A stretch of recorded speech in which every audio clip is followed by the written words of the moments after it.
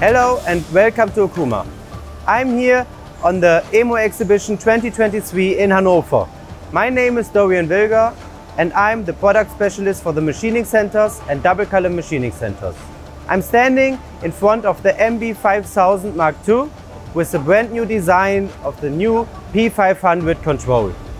The MB5000H Mark II with highly efficient wide range spindle which has 15,000 RPM 26 kilowatt and 199 newton meter torque.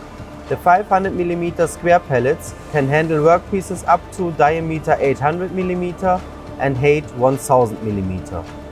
This machine is equipped with an Fastems FPT pallet storage system. This highly dynamic machine has 60 meter rapid feed with an acceleration over 1 G.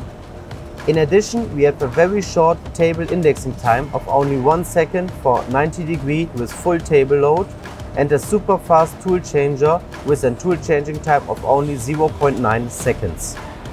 So, if you want to have more information about this machine or see a live demonstration, come and visit us here on our booth in hall number 15 B36. If you cannot join, you can also contact us at info at okuma.eu.